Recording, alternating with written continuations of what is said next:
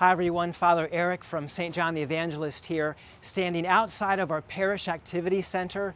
Our church renovation has now begun, and so everything that we're doing, our masses, our confessions, our baptisms, all of those things are now happening here at our Parish Activity Center. But today, I want to take you on a quick tour of our confessional so that you know where they're located at now, how to get in, kind of how to navigate all of that. So whenever it is that you come for the sacrament of reconciliation, you know exactly what to do. So let's head inside and take a quick tour together.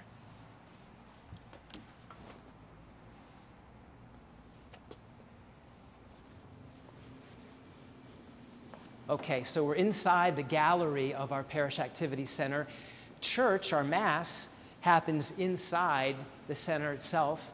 But in the gallery area is where we have three brand new confessionals set up. So one of the confessionals is mine, which is right over here on this side. And what you'll notice is all of the confessionals have been marked and hopefully pretty well indicated. So, confessional. Who's confessional?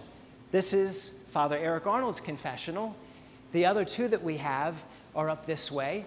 Father Jeremy's is the other freestanding new white reconciliation room. And Father Maurice's is right next door in one of our former offices. So, three confessional rooms.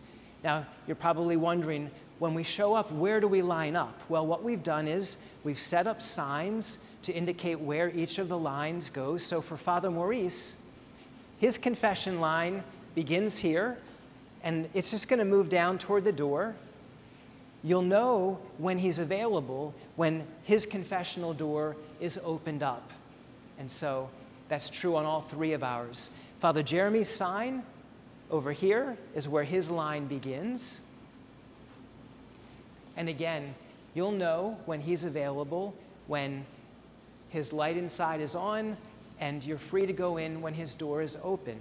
And then the same for mine. My confessional line begins right here, and it moves this way. So we're keeping people away from the confessionals enough so that there's privacy. But let's take a look inside my confessional. All three of them are kind of similar this way. Just like you're used to, inside the confessional, there's a spot where the priest is seated. And then for the one going to confession, there's the opportunity to either kneel down or to go face to face. And so inside my confessional here, there's the option to kneel down behind the screen and just receive the sacrament anonymously. Or if you'd like, you can be seated here in the chair across from me and go face to face.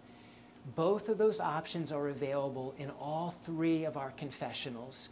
When you come into confession, make sure you close the door behind you so that everyone else knows that the confessional is in use. And when you finish your confession as you come out, leave the door open so that the next parishioner or penitent knows that the confessional is available.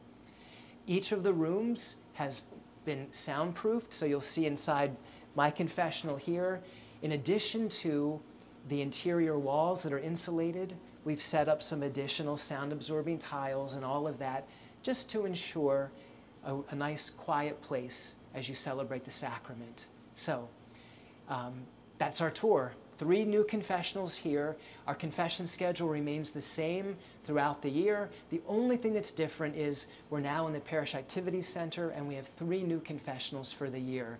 And we look forward to meeting you here as we celebrate this amazing gift of God's mercy poured out in the sacrament of reconciliation. God bless you all.